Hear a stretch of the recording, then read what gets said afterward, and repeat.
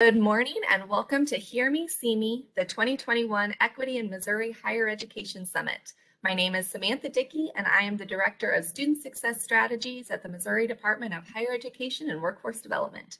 I have the pleasure of being the moderator for this presentation by my colleagues from Webster University. Before we get started, some virtual conference etiquette reminders. All participants should stay muted to eliminate background noise. That said, we want to see your faces. If you have a camera, turn it on to better engage with us. All presentations will be live, so bear with us on any technical issues. The chat will be monitored for questions throughout the presentation, so please send those in as you think of them. If you enter a session and decide it's not for you, please close out and head to a different session, just like you would at the in-person conference. All sessions will be recorded, so you will be able to access them after the conference. And don't forget to engage with us on social media using hashtag equity2021 at MODHEWD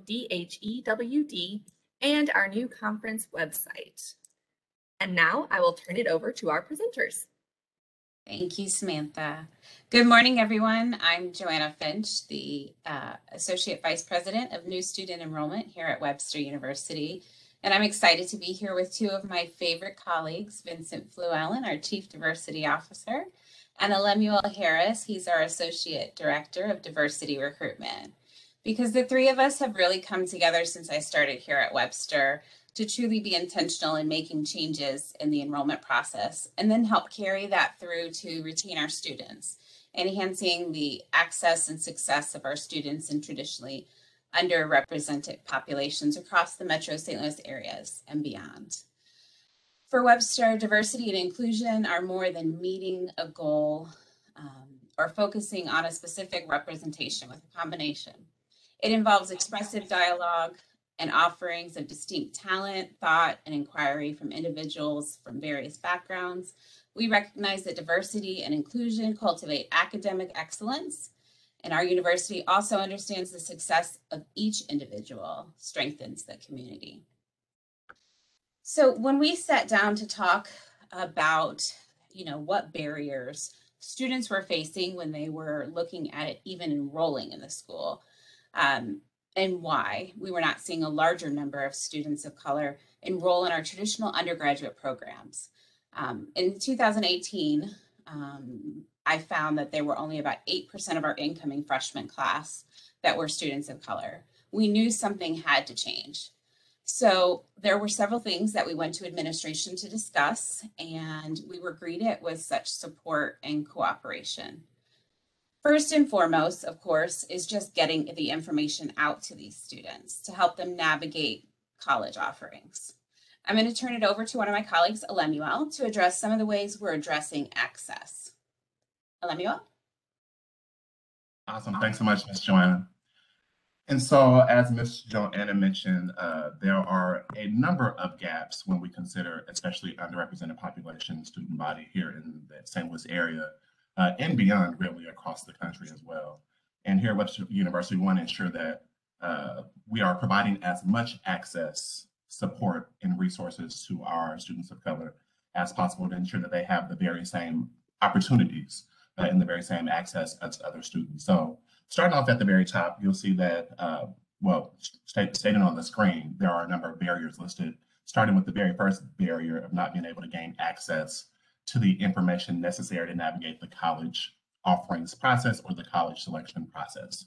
Uh, so the first thing Webster University did, or Miss Joanna and our team, Vincent Flo, and everybody at, uh, in leadership at Webster University, took the opportunity to promote myself or dedicate an individual, a primary point person uh, to the North St. Louis County area, as well as the St. Louis area, uh, St. Louis Public Schools, to ensure that students have access uh, in terms of workshops, presentations, and really that connect person uh, to really engage with, to learn about the admissions process at Webster University, about the application process at Webster University, uh, and the other various offerings uh, that we do offer through the admissions office and uh, through Webster University as a whole.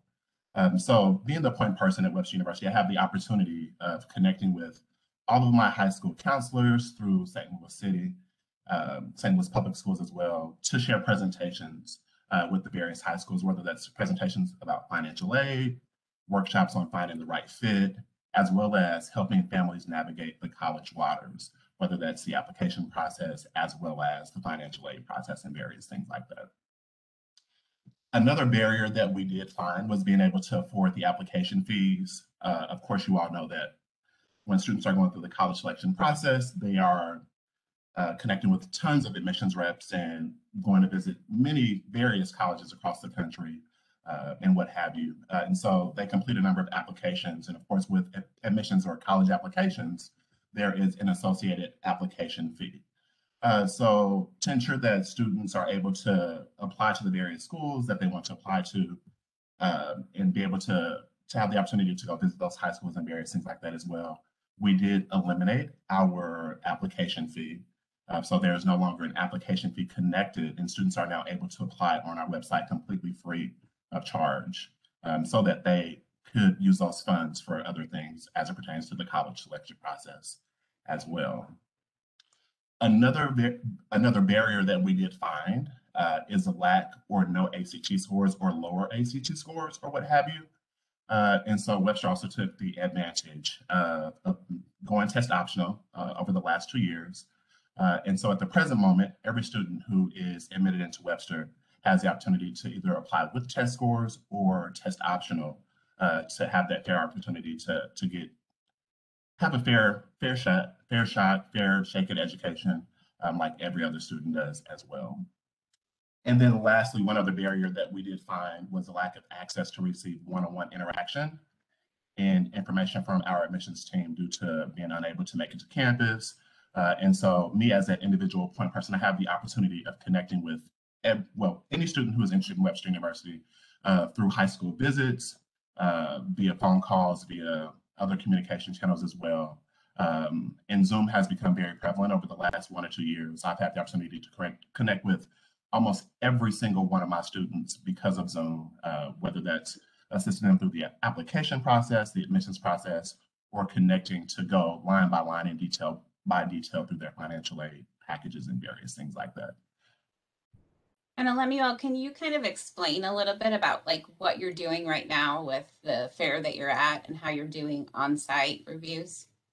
Absolutely. So Webster University and the Office of Admissions has given me the opportunity to really expand my my territory and expand my borders. So right now I have the opportunity and I am, in so many words, traveling with infinite scholars across the country uh, and having the opportunity. So in the last, I would say four weeks, I've had the opportunity to hit four different cities.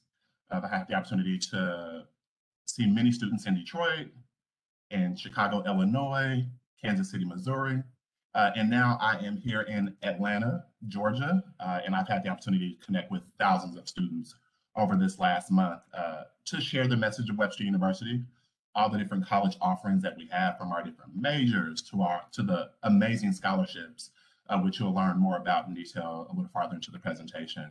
Uh, so just really having the opportunity and Webster University and the Office of Admissions really entrusted me um, to take on this role and this position as the Associate Director to really uh, to accomplish the goals uh, of the organization and of the university, Webster University. So, And even more than that, he's got the opportunity to review on-site their Mhm. um, different transcripts and award scholarships to the students while they're there. So he's able to meet with the students so that they don't necessarily have to come to campus to get that information, which has been nice. The other thing I want to mention is about the application fee. So it's not just a matter of waiving an application fee. A lot of schools do that for students that aren't able to afford it. But for us, it was more about leveling the playing field. I, I never want a student to have to feel awkward in explaining their financial situation or their struggles with us. So we just removed it for everybody because it's not something that I wanted to create a barrier for. Um, so that was an important part of it. Um, the next thing we're going to talk about is just our financial opportunities, and I'm going to turn that over to Vincent to discuss. Thanks, Joanne, and good morning to everyone. Um, I really, I, I would be remiss if I did not um, take this opportunity to, to to publicly share that the work that we are doing uh, now is phenomenal and it's great, but it's largely and and because of Joanna Finch, uh, as she recently joined us uh, here at the university a couple of years ago. She's been very intentional. And I think intentionality is a big part of this work, right? We have to, we must be very intentional and thoughtful about the work that we are doing and the why, right? And so Joanna, uh, in coming in, obviously the idea that, you know, she promoted Elemuelle uh, to be very uh, specific and targeted um, the the African American students of color communities uh, across not only St. Louis regionally but across the country, as evidenced by his uh, visits. But she also thought in terms of our scholarships and the ways in which we increase financial opportunity um, for all students, right? But again, specifically thinking about our students of color, our Black and Brown students, and how do we, as she said, create access to opportunities that will lead to success. And so one of, you know, there were several things that she did as it relates to our scholarships um, that are particularly for our students of color. Um, we have here in St. Louis uh, many uh, colleges and universities offer what are called the Dr. Donald M. Suggs scholarships. And those are institutional dollars. They are dollars that the institution sets aside to honor Dr. Donald Suggs, who is a local um, uh, dentist, uh, but he, for those of you in the area, if you're familiar with the St. Louis American newspaper, he is the publisher of it, uh, president and CEO as well. And so, and a long time uh, friend of Webster University's. We previously, um, about seven years ago, we started uh, the Suggs Scholarship. And at that time, we had one scholar, and we had that one scholar a year. We would uh, enroll a new scholar each year. And that scholar uh, received a partial tuition.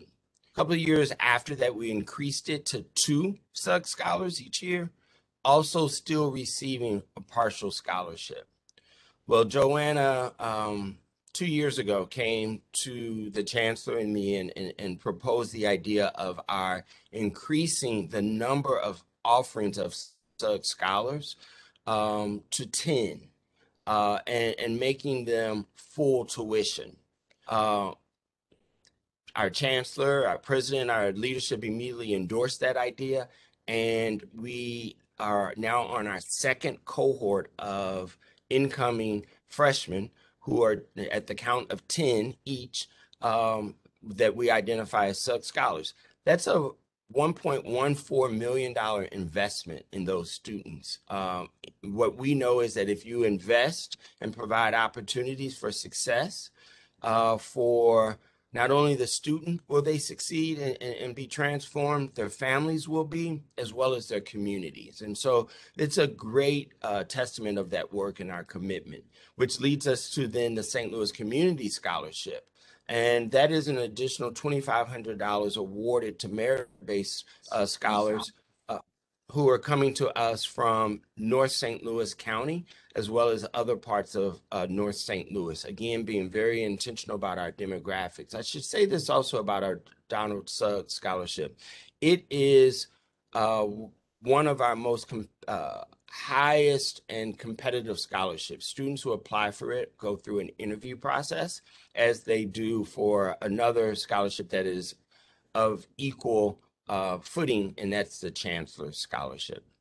Uh, we also have increased our merit-based scholarships um, going from $13,000 to $19,000. And those are automatically awarded at the time of admission. And so, again, increasing our financial aid uh, relationships with the admissions office as well, right? And so being able to better communicate to those that we uh, accept so that they know immediately what their financial um, uh, commitments would be here and our financial supports from the university.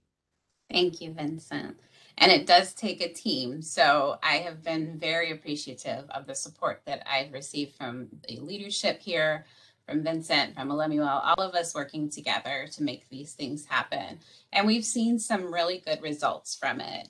Um, another thing that we did is uh, it was very important to me that when students come to visit the campus that they're greeted and they can see themselves represented in our student body um, it's important to find the right fit. So I intentionally started hiring more students of color for our admissions guides, our Gorlok guides, to provide equity and employment opportunities here for our students, but also to see an overall comfort level for our prospective students as they move throughout the admissions process.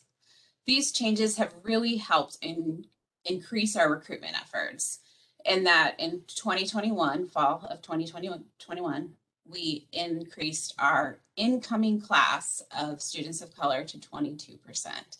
So if you remember in the beginning, we talked about 2018 was 8%, and now we're at 22%. So for me, it was such a, a great thing to see that much growth. Um, not only are we seeing it, but our current students are noticing it and commenting on how great it is. Um, which is why our next piece is even more crucial. We can get students to come to school, um, but access has to lead to success here at Webster. So Vincent, if you could share with us just a little bit about some of the things that we're doing here at Webster. Sure. Uh, we we started a program uh, here in partnership with various offices across and colleagues across the campus called Rise, and it's Resilience Inspires Student Excellence.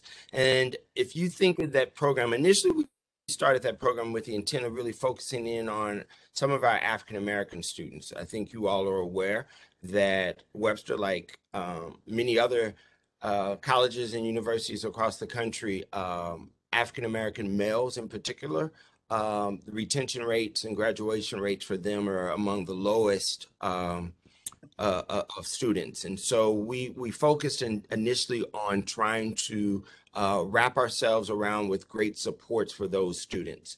Um, then COVID happened, right? And and so we were no longer able to really do that which we had planned, but um, we were able to take last year and kind of re-envision and reimagine the RISE program. One of the things that we did hear from uh, while we were still on campus, voices from our, our, our, women, right, who said, we too want some supports. We too want a sense of community. And so this year, RISE has expanded and it now includes all of our students of color. Um, but, you know, we, some of the things that happen in RISE, for instance, um, they have to check in monthly with me, and that's just a quick check in. But we have a dedicated staff person, Larry Morris, who regularly meets with them. We offer homework study support.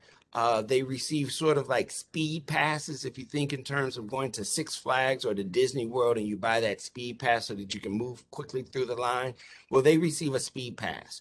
Just actually last night, uh, I reached out to our academic advisor contact. So academic advisor, each department has identified a key staff person, right? That RISE students can be immediately in touch with uh, and, and, receive assistance. So I sent an email to, to, to our colleague Craig, who then I, I, I, told him the details of a particular student. He has already reached out to that student and is assisting that student.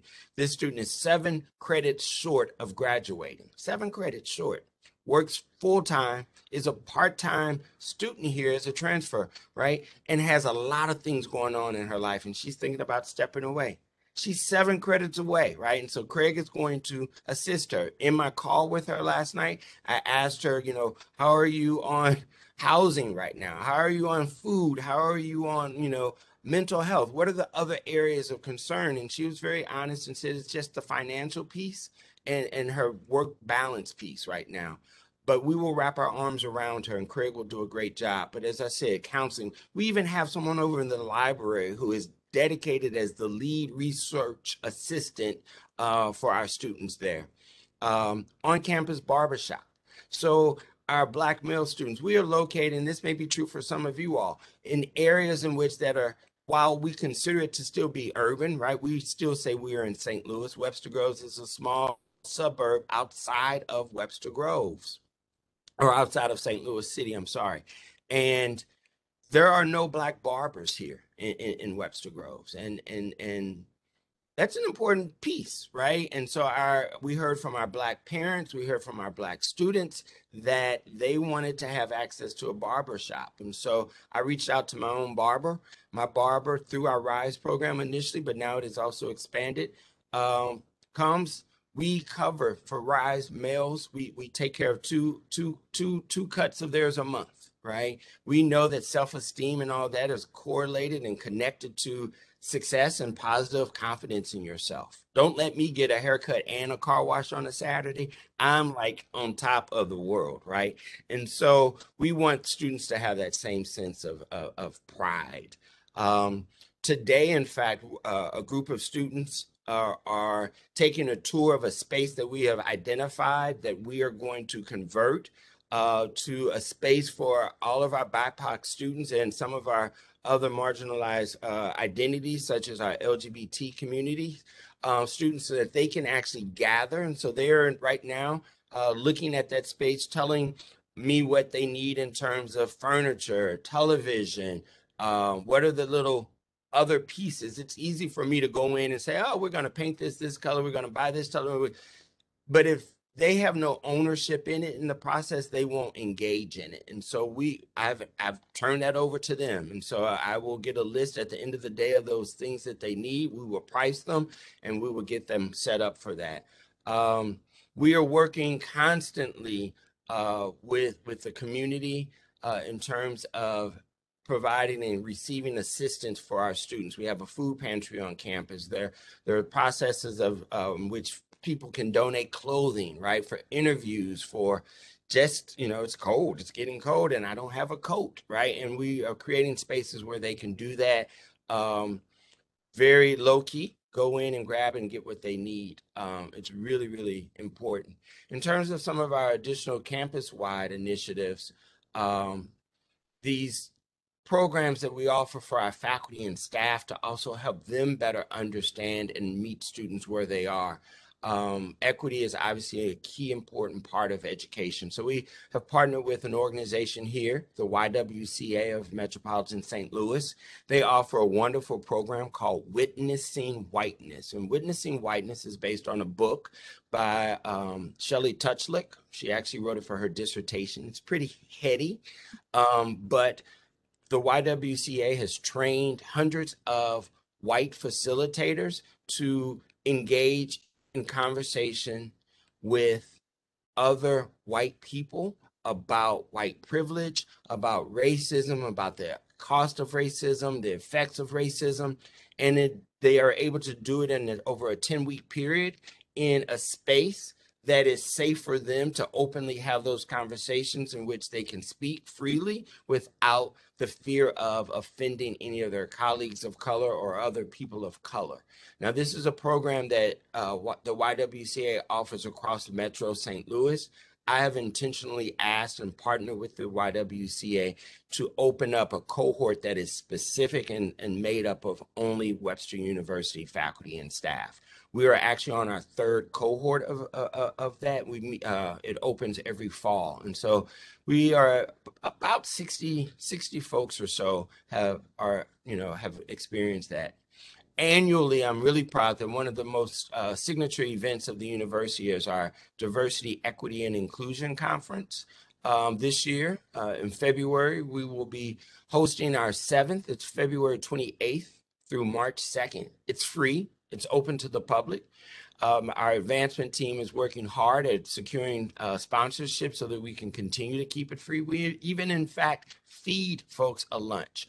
Um, and so we encourage you all to join us for that. Uh, you can learn more about that at uh, webster.edu uh, forward slash uh, diversity, equity, and inclusion.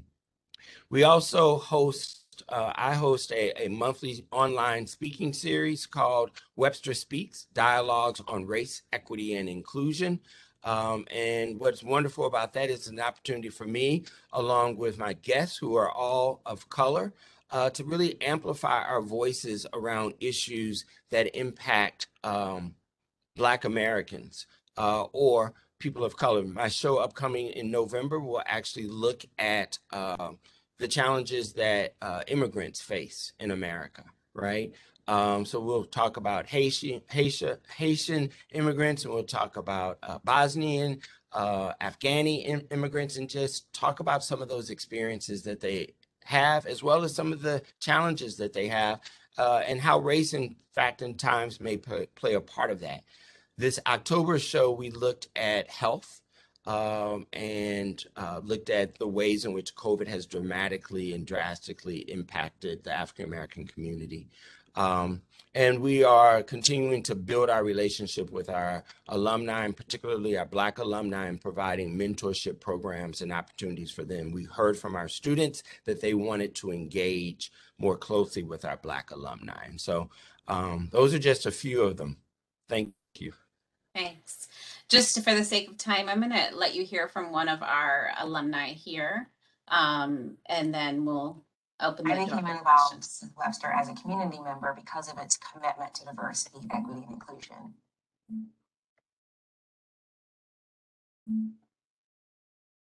I know that the folks here at Webster are committed to values that are important to me.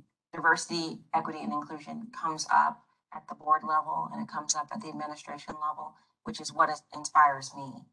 It gives me comfort to know that I'm investing my time and my money in an organization that really is going to advance um, diversity, equity, and inclusion.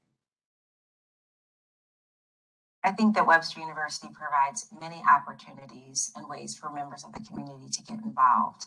For example, they can tune in to Webster Speaks, which is an online conversation, uh, panel discussions where individuals are having difficult conversations about race and equity. Webster also has a conference that it hosts every year, a DEI conference that is always well attended, great speakers, great topics. That's a great way for individuals to become involved.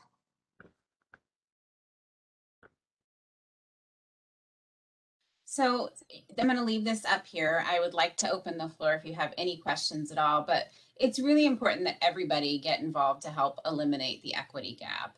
Um, so how can you get involved? Of course, going back to your own alma mater and becoming a mentor, educating yourself, as Vincent talked about the YWCA's Witnessing Whiteness program. It's something for you maybe to investigate.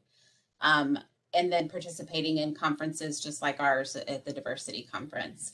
Um, but most importantly, be intentional. Um, for me, it is so important that we're intentional about everything that we do um, to find areas that have gaps and just make sure that we're filling those and evaluating things on a regular basis just to make sure that everything is covered and that there's no barriers that may come up. So that is our presentation. So if there's any questions, Samantha, we'd be happy to answer those. All right, I'm going to ask my own question while those who are in the audience um, submit their questions in the chat.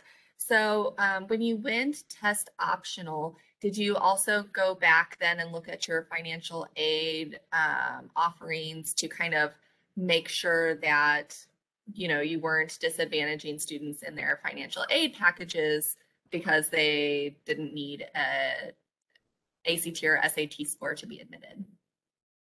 No, we actually we treat every student the same. So if you have an ACT score or you don't have an ACT score, we take a very holistic approach to our looking at our students and evaluating them. So the rigor of their high school program, how involved they were, um, you know, what they have to say when they're meeting with us. And, you know, we do have a short essay that was involved in the process.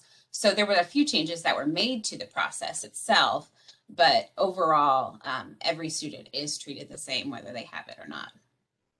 The only thing that's different is for competitive scholarships. Those aren't requiring an ACT. Got it. Thank you. So there is another question in the chat. Can the team talk a little about any specific outreach or recruitment and access initiatives for adult learners or stopped out students? Sure. Uh, Lemuel, do you have anything you want to add? You're on mute. I'm sorry. No, ma'am, I'll let you go first. Um, so when it comes to adult learners, we definitely want to help individuals get back into school. Um, and especially for those that have stopped out. So if you've started your education and you want to come back to school, whether you've started it at Webster or anywhere else, um, we do have an adult program here that allows you to go to school. We have campuses all over the United States. We have two in St. Louis at Westport and downtown at Gateway. And you would work with our advising team um, along with our admissions team to help determine like what's the best program for you and how many classes you would need to complete that program. So we definitely work with um, all ages.